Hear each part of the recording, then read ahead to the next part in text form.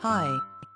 I'm here to talk to you about how to answer the job interview question, why did you choose this career?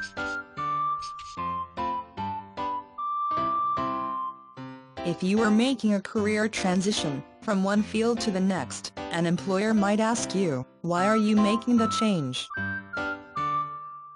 Or, why did you choose to make that change?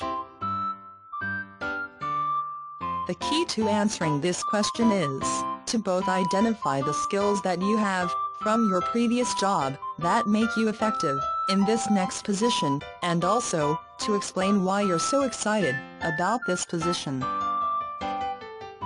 So, if you're moving from being a teacher to being in management, there are a lot of skills as a teacher that you develop that are highly relevant to managing.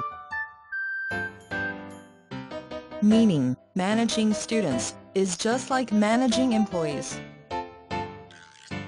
You have to manage expectations, keep them organized, set deadlines, and manage poor behavior.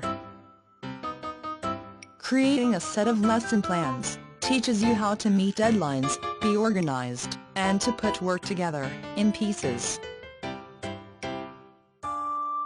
So, think about how your experiences are really relevant to what you're set upon doing in management, and explain why you are excited to make the transition into management.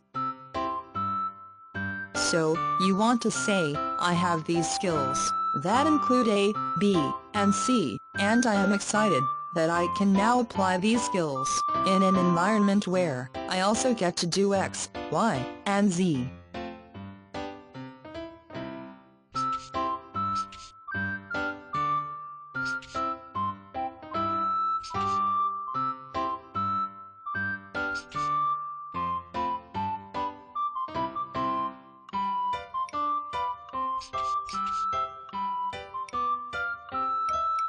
Hope you found it useful. For more information please click the link in description.